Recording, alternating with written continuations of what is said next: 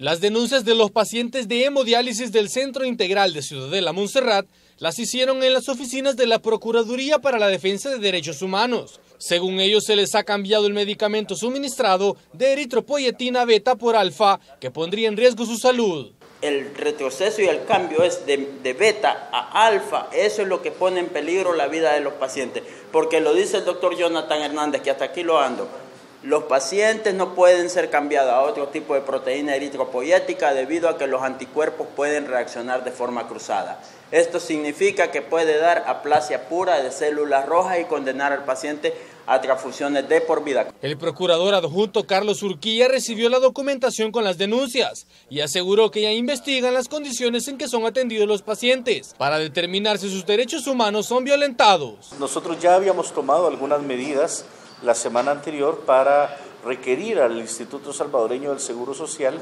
que nos comuniquen y nos trasladen todos los elementos de juicio que han tenido para fundamentar esta decisión.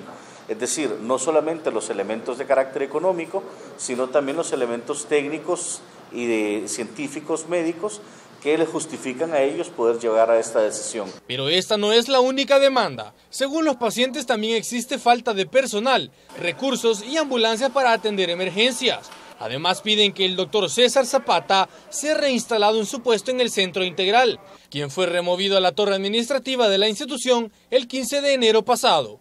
Con imágenes de Verábalos, este es un reporte de Néstor Hernández.